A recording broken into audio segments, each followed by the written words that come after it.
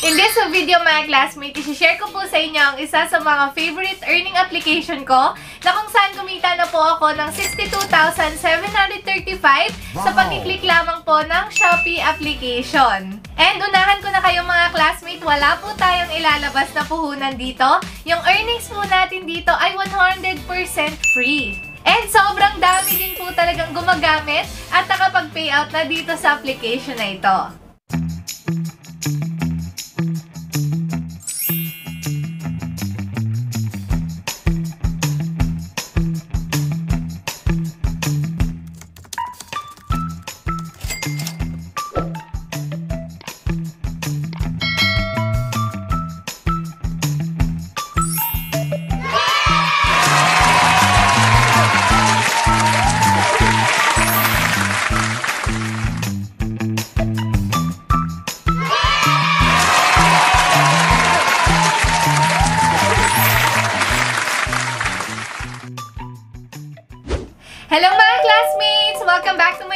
Channel. Ako nga pala si Rose. At kung bago ka pa lang dito sa ating channel at gusto mong kumita ng libre, i-click mo na ang subscribe button, pati na rin ang notification bell para updated ka kung may mga bago tayong upload na video na pwede mong pagkakitaan online. Dito mga classmates, kapag ka ikaw ang nauna mag-comment ng hashtag word na makikita mo dito sa video na ito, ikaw ay mananalo ng 50 pesos cash. Pero bago yun, syempre mag-like and subscribe ka muna. So, for today's video nga mga classmates, isi-share ko sa inyo ang isa sa mga favorite earning application ko na kung saan pwede tayong kumita ng libreng pera. So, ano nga po ba ito? Huwag na natin patagalin pa. Let's get started!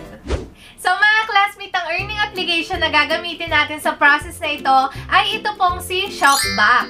Ito mga classmate ay available for Android and Apple users. So, pwede po natin ma-download yan sa Play Store and App Store. By the way mga classmate, nilagay ko na lang din yung download link niyan dyan sa my description box below. So, check nyo po yan para hindi na po kayo mahirapan hanapin itong application na ito. So, since Android user po ako, nandito po tayo sa Play Store. And dito mga classmate, ito pong si Shopback ay may ratings po na 4.6. Wow! So, ayun mga classmate, yung 4.6 na ratings na yan ay mataas na po para sa isang application. So, kayo mga classmate, pwede nyo po i-check yung mga reviews dito sa application na ito bago po natin i-download. So, after natin ma-download, i-open lang po natin.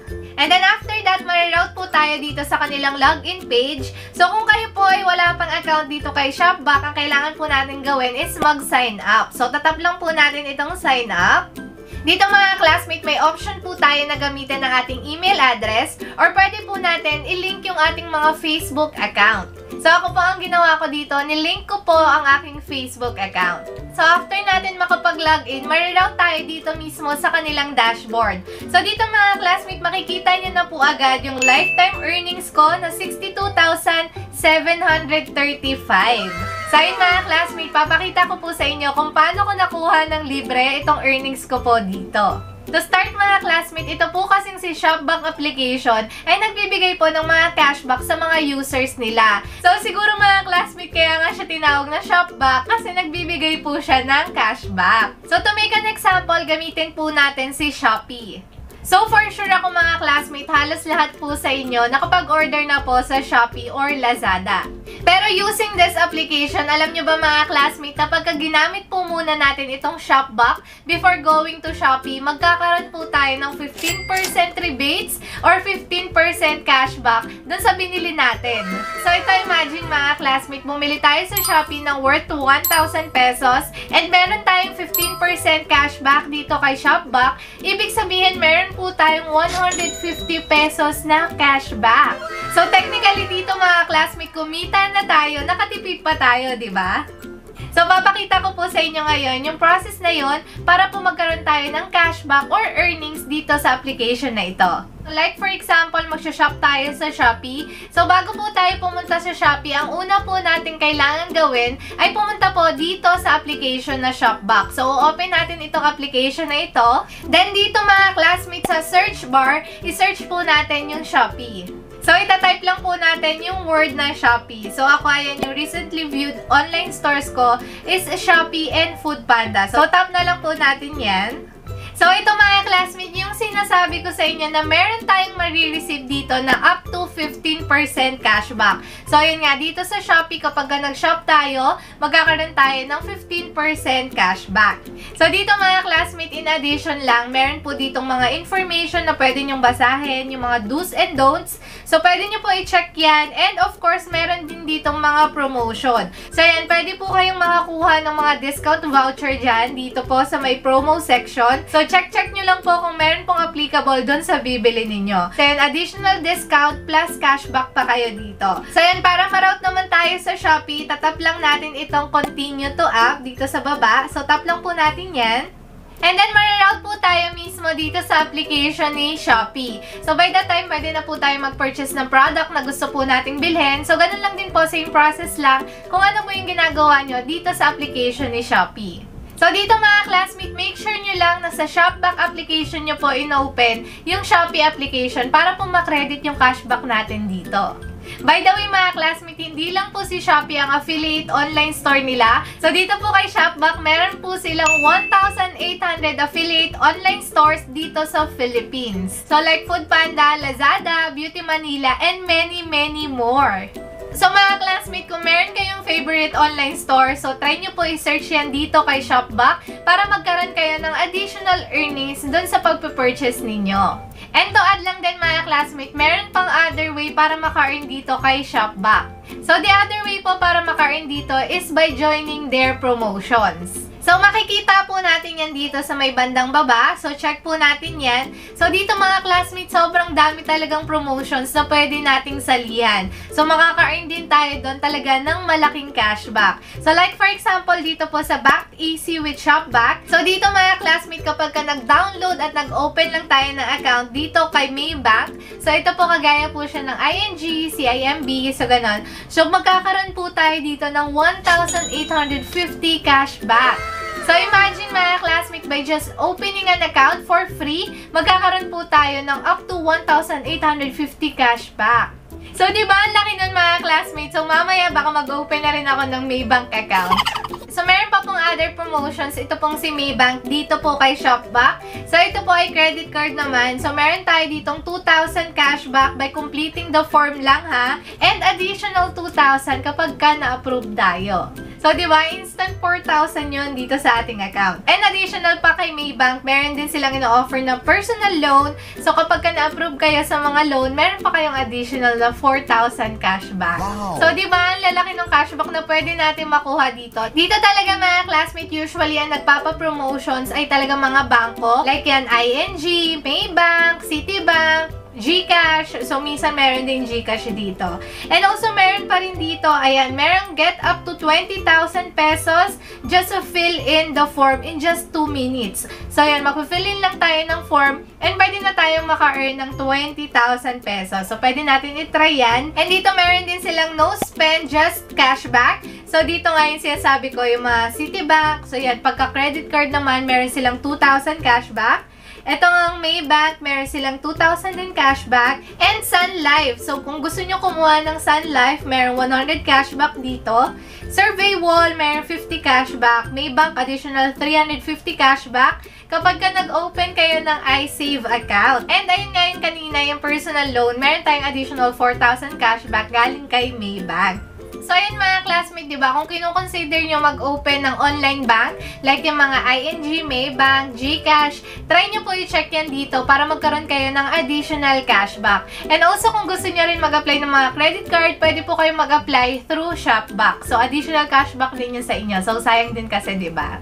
And to add up lang mga classmate, dito hindi lang po cashback yung pinamimigay nila. Meron din pong mga discount vouchers. So, ito mga classmate application na to, sobrang ganda talaga nito. Lalo na kung gustong gusto nyo po talagang mag-online shop. So, dito sobrang dami nyo po talagang makukuhang discount voucher. Lalo na po kung sales sa Shopee or Lazada. Like yung mga 11-11, 12-12, 1-1, 2-2, yung mga ganyang sale. Sobrang dami pong discount vouchers dito. Wow. So, kaya nga din, di ba sinabi ko sa inyo kanina, favorite ko tong application nito. Kasi aside from earning, talagang makakakuha din tayo ng mga discount dito kay Shopback. So, yan mga classmate, like for example, meron silang discount voucher for SM, iHerb, Foodpanda, Shopee, ayan, meron silang Under Armour, and marami pang iba. So, yan, meron si Zalora, may Klook, So, ayan, marami pa po silang ibang discount voucher. So, ayan, kung cellphone, ayan, meron din silang Uniqlo. Marami pa po talaga. So, ayan talaga mga classmate, kung gusto nyo talagang mag-purchase online, try nyo po muna i-check yun dito sa Shopback, kung partner sila ng Shopback, para makakuha kayo ng additional discount and also cashback. And ayun nga mga classmate, meron pang other way para maka-earn dito sa application na ito.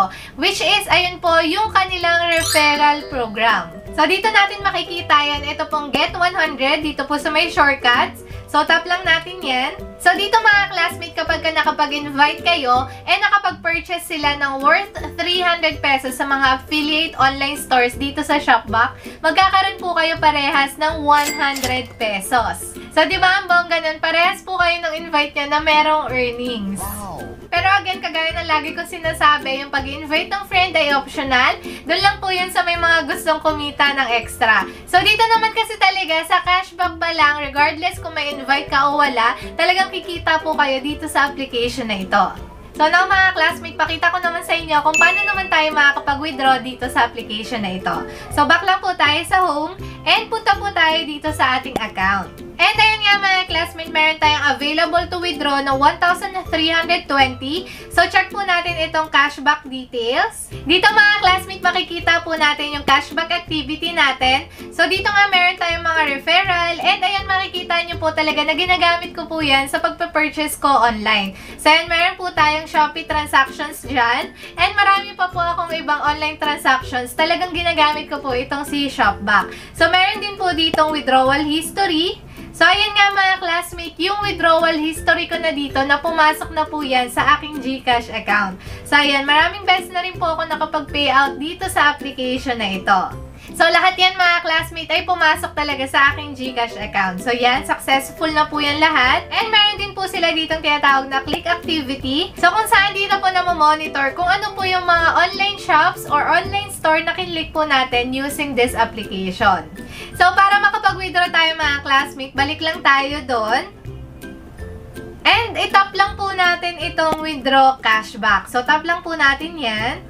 So, dito mga classmate, ang payment method po is either bank transfer including GCash and e-wallet transfer. So, yun po yung mga PayPal. So, dito mga classmate, na-verify na po yung aking GCash account. So, kung wala pa tayong bank account dito, itatap lang po natin itong add a bank.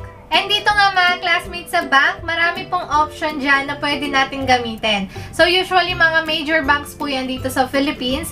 And of course, meron pong GCash dito. So tatap lang natin itong GCash. And then mga classmates, ilalagay lang natin yung name natin sa ating GCash account. And of course, dito sa bank account number, yung number po ng ating GCash account. And then after that, itatap lang po natin itong add payment. So, after po natin malink yung Gcash account natin dito, maglalagay po tayo dito ng withdrawal amount na gusto po natin i-withdraw. By the way, dito mga classmate, ang minimum amount to withdraw is 200 pesos. So, yun nga mga classmate, kapag gumamit po kayo ng referral code dito, magkakaroon po kayo agad ng 100 pesos. So, yun nga po, 100 pesos na lang yung bubunuin nyo para po makapag-withdraw tayo dito. So, lagay lang po natin yung amount na gusto nating i-withdraw dito. So, yun mga classmate, after po natin malagay yung amount, itatap lang po natin itong withdraw. And ito mga classmates, super safe po talaga ng account nyo dito kasi magsisend po muna ng OTP sa inyo bago po makapag-proceed sa withdrawal. So, lagay lang po natin yung OTP natin dito. And then after that, itatap lang po natin itong submit. So, ayan mga classmate, processing na po siya. Check po natin sa withdrawal history. And nandito na nga po yung winidraw natin kanina. So, processing pa yan mga classmate. Marireceive natin yan within 3 to 5 working days. And ayan mga classmate, based sa aking experience, hindi po yan umaabot ng 3 to 5 business days. Usually 1 to 2 days, papasok na po yan sa ating GCash account. So, ayan po mga classmate, yung own proof ko na legit at paying po talaga itong application na ito. And ayun mga classmates, bago ko tapusin itong video na ito, gusto ko lang sabihin na meron tayong giveaway. And dito po ang kailangan nyo lang gawin ay i-like itong video, mag-subscribe sa aking channel, at i-comment nyo po yung hashtag word na nakita nyo dito sa video na ito. Pati na rin po ang hashtag na Earn at Pera University at ang inyong GCash number. So that's it for today mga classmates. Hope you like this video and please share this video para marami pa tayong matulungan na gustong kumita online. So goodbye for now. See you on my next video.